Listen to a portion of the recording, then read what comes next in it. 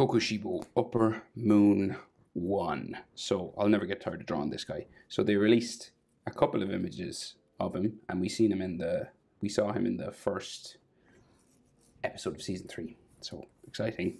I'm on a landscape page. Use a pencil eraser, hit pause if I go too fast. So like full face focusing on his eyes, right? So we're going to start with the middle two eyes. Center point of my page is about here, right? So and the middle eyes are sort of below halfway. Okay.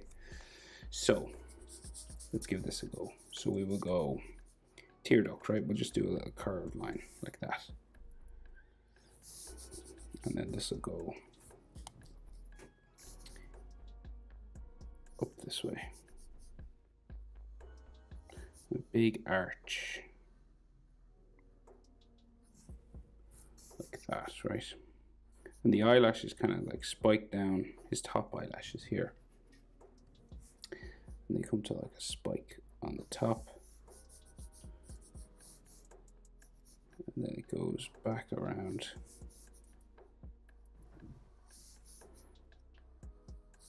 And this will all be colored black, right? It gets thin down here. Right, so this is just like dark inside.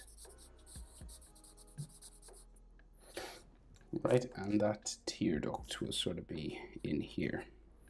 So from there, we got the bottom eyelid line, so it kind of just curves around.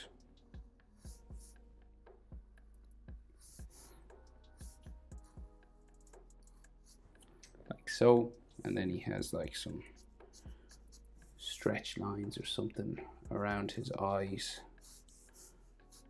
like that. His iris in Demon Slayer, they do these kind of angled sort of circles for the eyes. Kind of makes it easier to draw, in my opinion. You know, you don't have to worry about it being like a perfect circle or anything.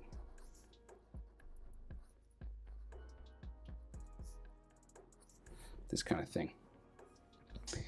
And then in his eyes, he's got these lines that come all around sort of the eye, right? So they go this way.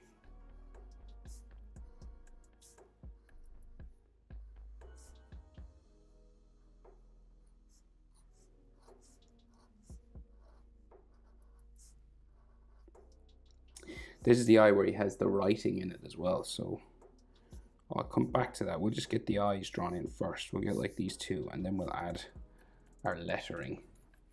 Seems to be some little sort of lines around the edge as well.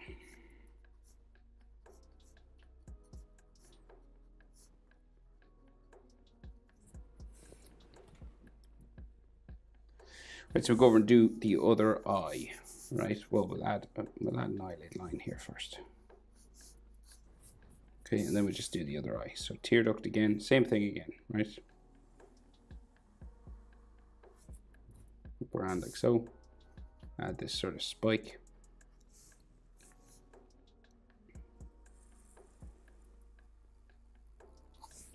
Color black. Add the bottom eyelid.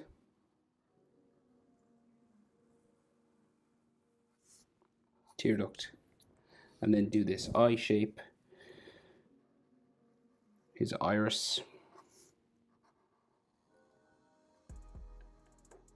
Like so. And the lines all around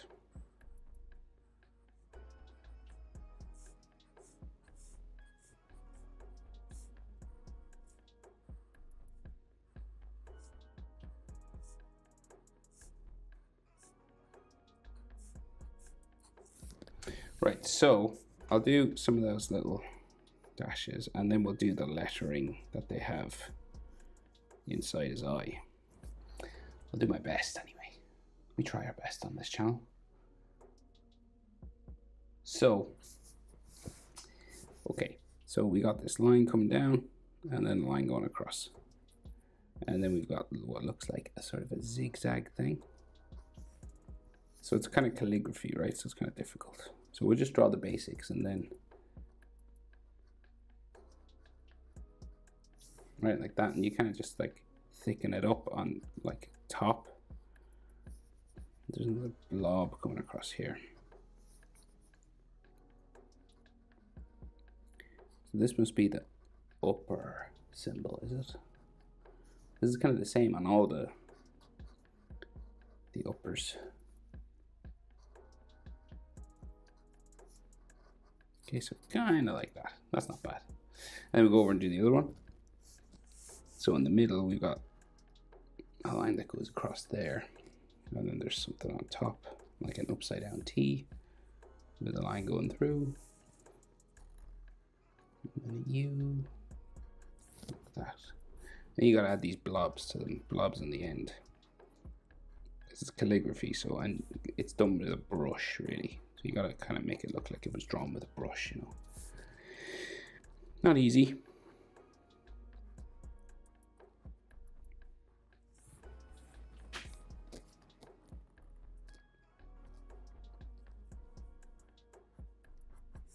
Okay. Right. And then, so he's got like some other lines, eyelid lines and stuff in here. Stress lines coming around the eye. Not that he's stressed or anything, but that's basically his first two eyes, right? So we'll do the top set, the bottom set, and then nose and mouth. So just above tear duct here, right? Tear duct here. We'll just I'll get the tear ducts marked in just so we get an idea, right? Right. So then eye curves around. Little spike on the corner.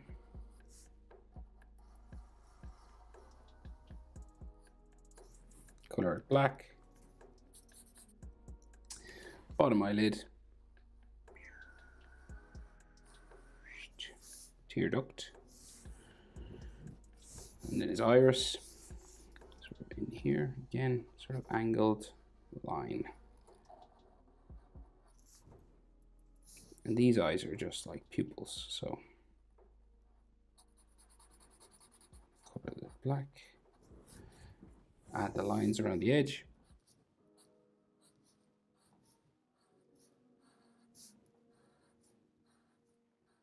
So sorry now if I move fast, but his eyes are kind of quite detailed, so they are probably the coolest eyes nearly in all of anime, I would say. What do you think? And then he's got these veins inside here. Just these little sort of tree branch like shapes coming around like that. And then eyelid line. He doesn't have any eyebrows. those stress lines around the corner of his eye. And then we do the same over here. Keep going. It's a marathon, not a sprint.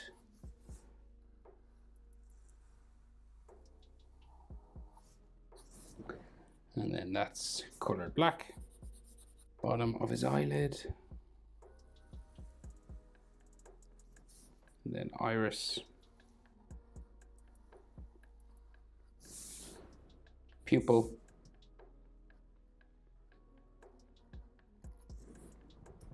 and then details inside. Going around sort of like the hands of a clock. You know, your radial pattern.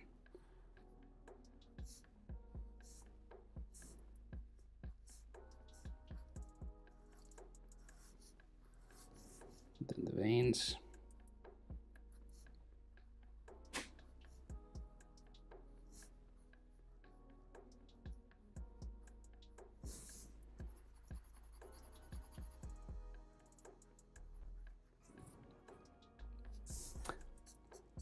Eyelid line. These little lines on the corner of his eye. And then we go down and do it all again. So we start here and then down around. This one kind of goes off his cheek, so you can't really see. You can't see the spike on the end, right? So it's just like, it's like a dark eyelid line like this. There's no little flick up on the end.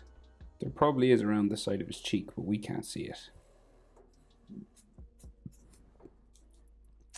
And then tear duct and then bottom eyelid line.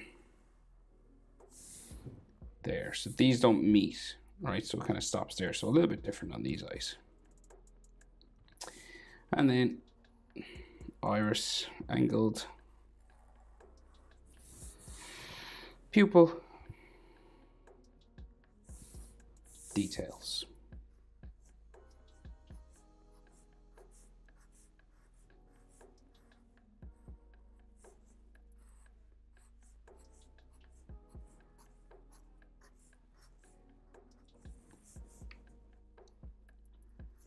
Veins then.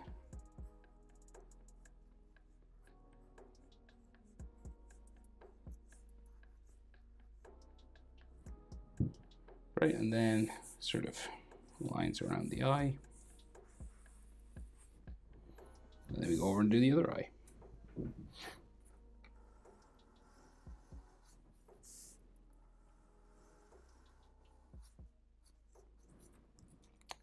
Black. Bottom of his eye. Iris. People have problems drawing two eyes. So I imagine six eyes is like crazy to some people. Like so. Color this black. And then details. Details inside.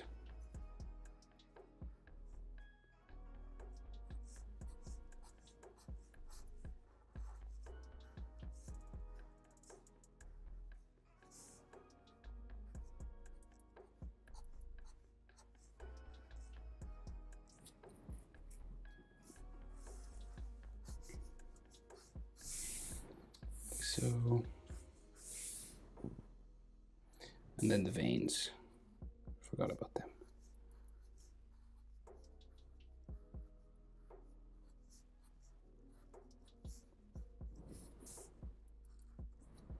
Okay. So his nostrils are just in between these eyes. Ooh, didn't color that black. Okay, nostrils here, right? So we got like a long one and then a slightly shorter one. And then this has like a little dark shadow just in there. And then he has these hatching lines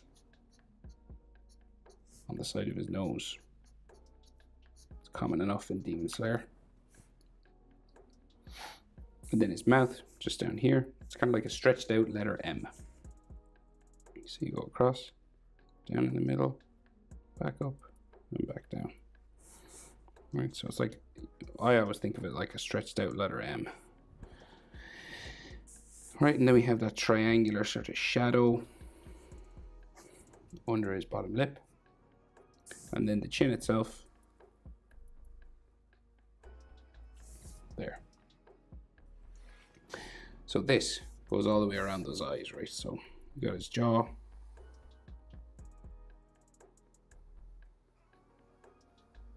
curving up like that. Try and get it even.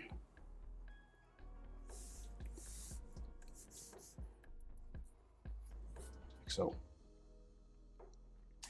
And then his hairline, so just up here, right? He, so he's got these spikes that come across his hair. We've got this sort of V here first. And then these will spike. It's kind of like Tanjiro's hair. spike that way.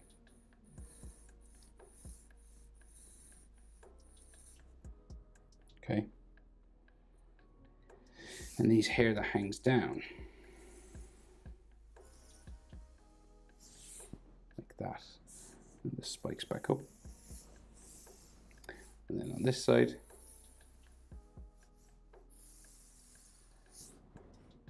spike back up. and he's all hair that hangs down his head, right? So we've got like a line here, here. We can just see his ears inside, underneath his hair. Oh yeah, and the scar, can't forget the scar, or the mark.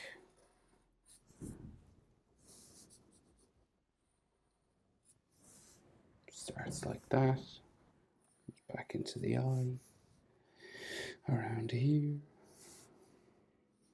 comes all the way down his face.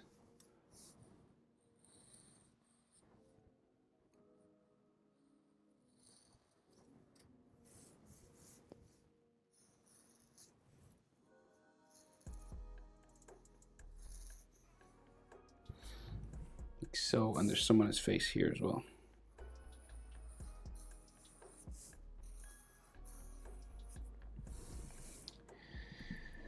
Okay, so the rest of his hair.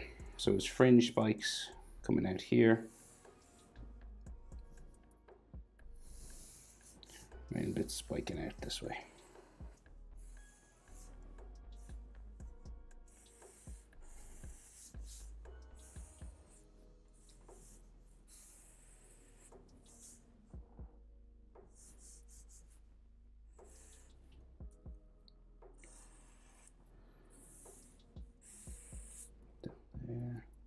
Kind of hangs down over his shoulder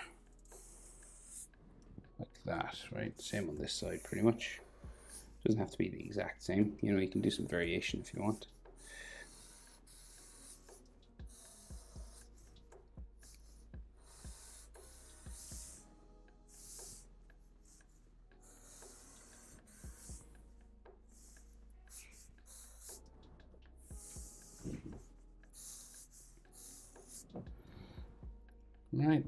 Head kind of just, he's got like hair that goes back around that way, right? Kind of like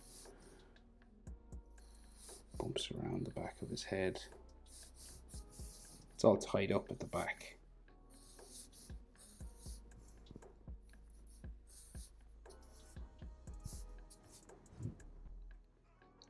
There's more that comes down behind his shoulders, so we'll just do the neck and shoulders and stuff here. So neck,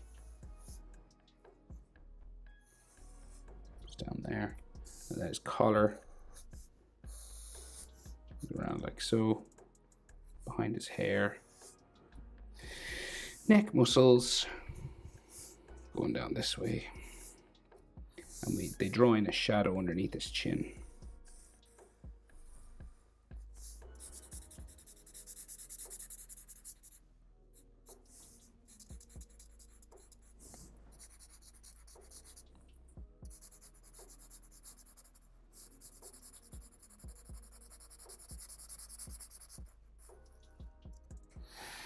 Oh yeah, and he has more of that scar on his neck. Or the mark.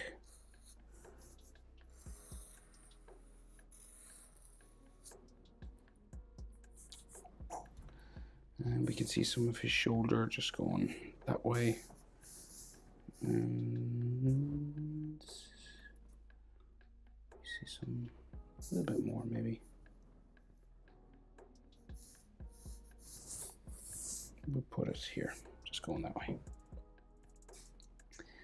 Right, and then he has more hair spikes just coming down from the top of his head. Let's see, so we'll go here, right, so this way. This might just disappear up the top. Going down here.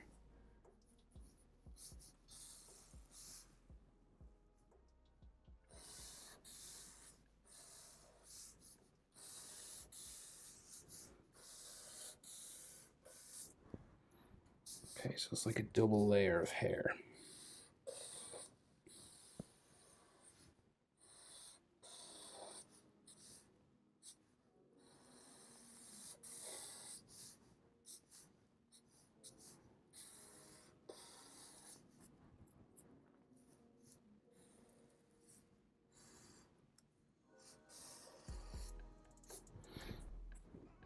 Right, and then so kind of like Tanjiro's hair, right? He has this red and black coloring all over his hair, all around the edge. So it's black in the middle and it has this highlight, right? So you just got to go around each section of the hair, basically, right? So this is going to be red around here.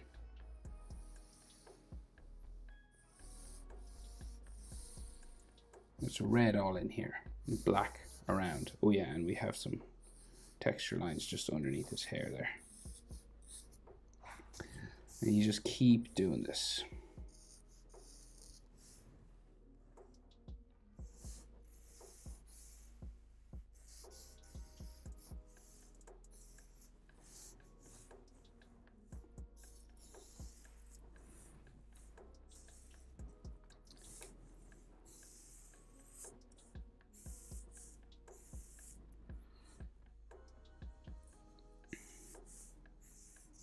So inside all these sections is just going to be red.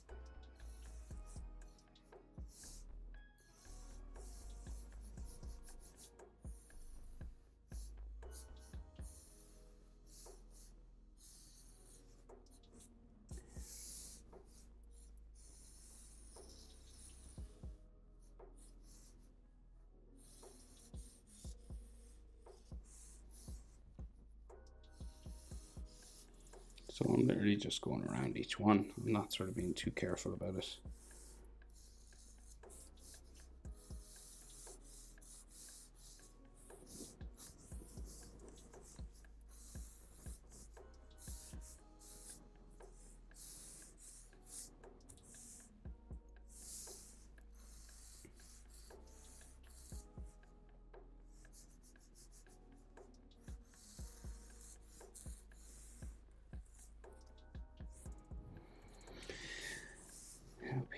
Too.